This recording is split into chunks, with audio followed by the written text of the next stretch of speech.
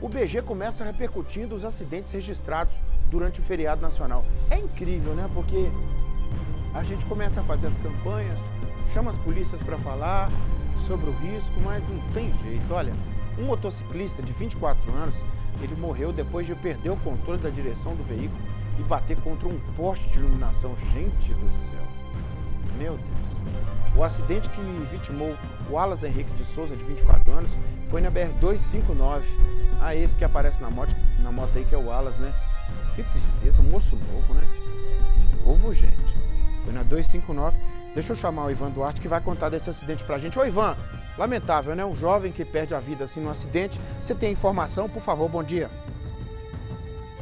Oi, Nico. Bom dia para você também. Bom dia a todos que estão conosco aqui pelo Balanço Geral. Realmente muito triste isso, viu? A vítima fazia um deslocamento da cidade de Santa Efigênia de Minas para Sardoá.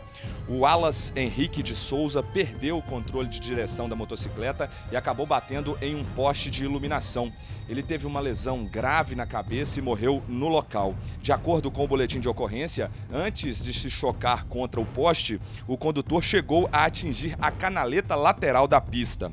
A perícia foi acionada para descobrir os vestígios deste acidente e a motocicleta e os pertences foram entregues à família da vítima. O corpo do piloto foi levado ao Instituto Médico Legal. Realmente, rapaz novo, notícia muito triste, perdeu a vida neste acidente na BR-259, Nico.